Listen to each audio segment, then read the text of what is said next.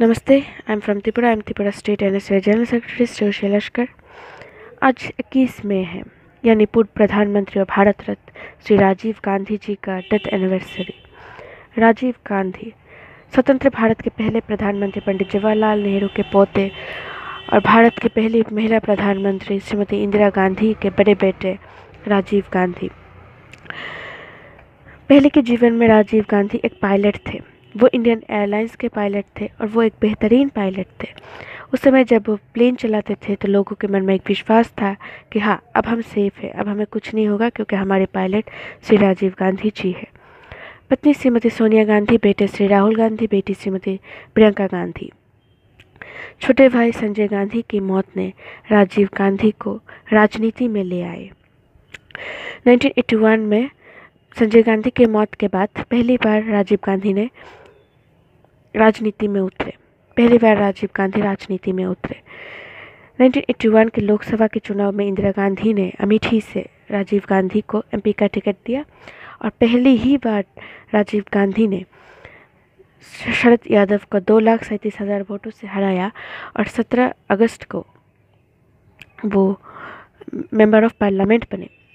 1984 में इंदिरा गांधी के मौत के बाद वो देश के सबसे युवा प्रधानमंत्री बने और 1984 के लोकसभा के चुनाव में राजीव गांधी के नेतृत्व में इंडियन नेशनल कांग्रेस ने एक ऐतिहासिक जीत हासिल की थी 415 सीटों का।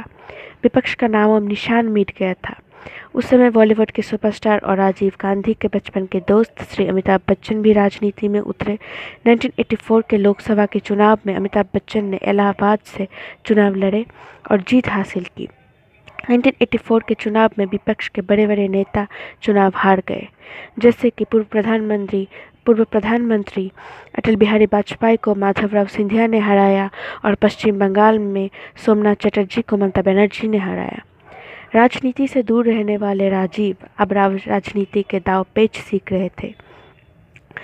प्रधानमंत्री बनने के बाद राजीव गांधी ने बहुत बेहतरीन कुछ कदम उठाए थे, जैसे कि anti defection law Shah Bano case.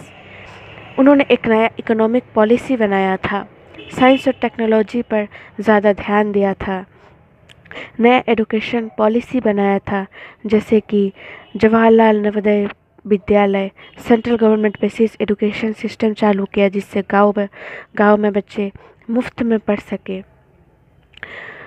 उनकी, उनके प्रचेष्टा से 1986 में एमटीएनएल तैयार हुआ टेलीफोन नेटवर्किंग के डेवलपमेंट के लिए। उन्होंने फॉरेन पॉलिसी चालू की। टेक्नोलॉजी के डेवलपमेंट के लिए उन्होंने पब्लिक सेक्टर में टेलीकॉम कंपनीज़ जैसे कि एमटीएनएल और बीएसएनएल को डेवलप किया। राजीव गांधी के राजनीतिक सपोर्ट की वजह से 2007 तक भारत में हर महीने सिक्स मिलियन फ़ोन्स चालू किए गए। उन्होंने पंचायत राज चालू की।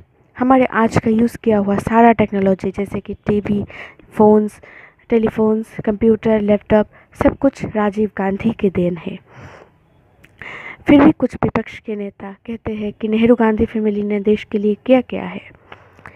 इतना सब कुछ करने के बावजूद आज के दिन 1991 में तमिलनाडु में एक जनसभा के दौरान बोम ब्रास्ट के द्वारा उनकी हत्या कर दी गई। आज भी इंदिरा गांधी का घर, इंदिरा गांधी जी का घर, जो कि आज एक म्यूज़ियम है उनमें राजीव गांधी जी के कपड़ों की छोटे छोटे टुकड़े रखा गया है, जिसे देखकर ही पता चलता है कि कितनी दर्दनाक मौत मिली होंगी उन्हें। आज का दिन इंडियन नेशनल कांग्रेस के लिए और सारे देश के लिए एक दुखद दिन है। आज के दिन ही हमने एक ऐसे प्रधानमंत्री को खोया था, जो देश को एक नए ऊंचाइयों पर ले जाने की सपना देखता था। जो साइंस और टेक्नोलॉजी की डेवलपमेंट की सपने देखते थे। नमस्ते जय हिंद।